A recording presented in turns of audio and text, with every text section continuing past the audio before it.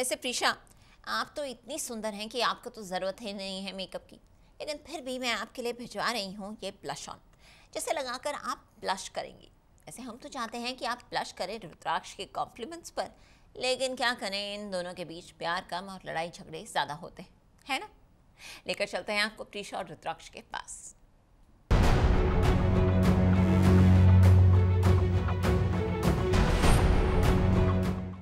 Star Plus के serial ये है चाहते में।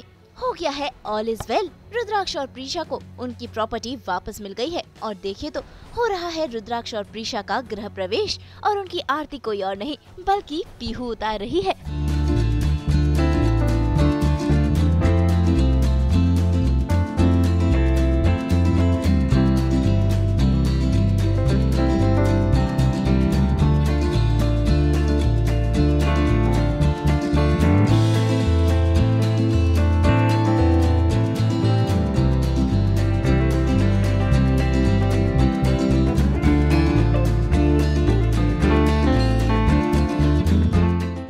जल्द ही लीप आने वाला है, जिसके बाद प्रीशा बन जाएँगी नयन तारा। और देखिए तो लीप के बाद की शूटिंग शुरू भी हो चुकी है और यहाँ पर चल रही है नयन तारा की शादी की तैयारियाँ, जिसके चलते पूरे घर को सजाया गया है।